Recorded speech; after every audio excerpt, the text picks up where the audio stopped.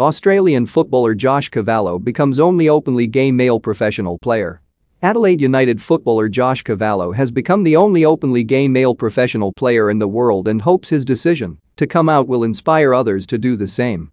The 21-year-old, who plays in Australia's A-League, revealed his sexuality in a series of Twitter posts as well as an emotional video shared by his club on Wednesday. Although a number of footballers have come out after retiring from playing, such as former Aston Villa midfielder Thomas Hitzlsperger, few elite male players have done so during their careers.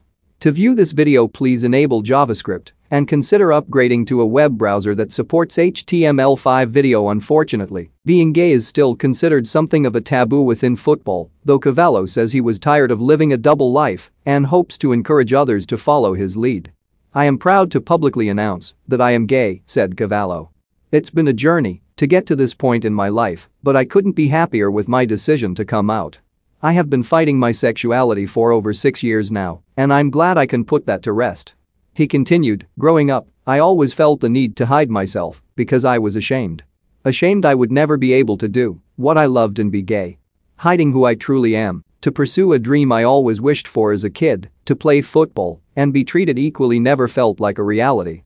Being a gay closeted footballer, I've had to learn to mask my feelings in order to fit the mold of a professional footballer.